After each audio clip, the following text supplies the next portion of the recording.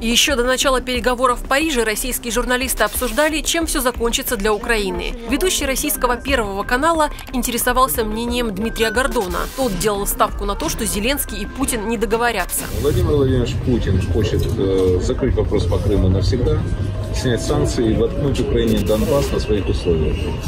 Владимир Александрович Зеленский хочет, э, чтобы Донбасс был украинским на условиях Украины и вопрос Крыма не закрывать никогда. На итоговой пресс-конференции президент Украины заявляет, федерализации не будет, страна едина и сама решит, как ей развиваться. И Крым – это Украина. Неможливість компромісів по врегулюванню ситуації на сході України через поступки Україною територіями в межах міжнародно визначених кордонів. Всі ми знаємо, що для кожного українця і Донбас, і Крим це Україна. Позиция украинского президента беспокоит российских журналистов, в частности ведущего Анатолия Кузичева. Он известен тем, что во время теледебатов поссорился с кандидатом в президенты России Ксенией Собчак, назвал ее клоунессой, у которой проблемы со слухом.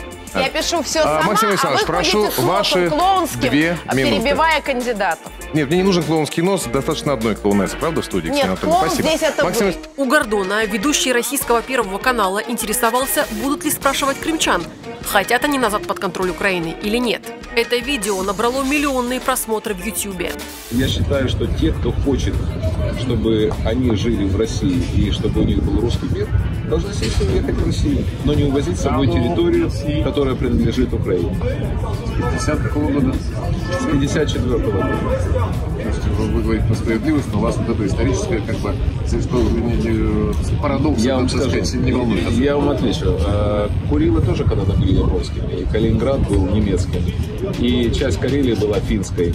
Если подходить к вопросу так, ну давайте все вернем Уже после переговоров на ступеньках парижского отеля Владимир Зеленский рассказал, что готовился к разговору с Путиным о Крыме. Но времени не хватило, потому что долго обсуждали разведение войск на Донбассе. Ми говорили про особливий статус м, і про там зміни в конституції, і були такі речі, які там, ну скажімо так, фундаментально я стою на захисті України і, і проти федералізації. Такі речі були, які привели до е, обговорення, тому до Криму детально ми не дійшли.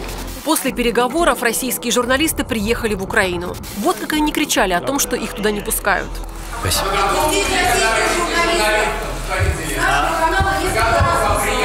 Я имею в виду, ну, конечно, приезжайте к нам. А у вас, у вас есть проблемы при переходе границы? И вот как журналистка канала Минобороны России «Звезда» снимает пограничный пункт в Борисполе, что запрещено правилами. А сейчас на таможне мне сказали «добро пожаловать в Украину». Ну вот мы и в центре Киева. Я на Майдане. Украинским журналистам президент Зеленский пообещал говорить о Крыме во время новой встречи нормандской четверки. Она запланирована через 4 месяца в Берлине. Александр Шевченко для Крым Реалии.